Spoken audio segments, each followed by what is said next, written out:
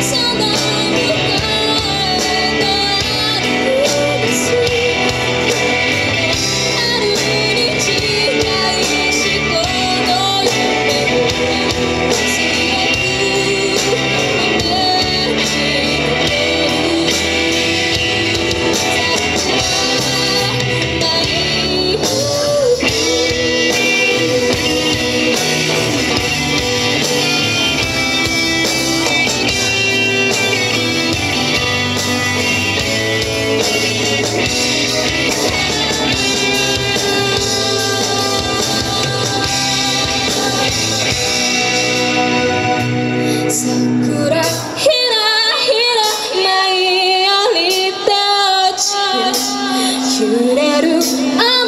いなだを抱きしめた。君と春に近いしこの夢を強くなりた。い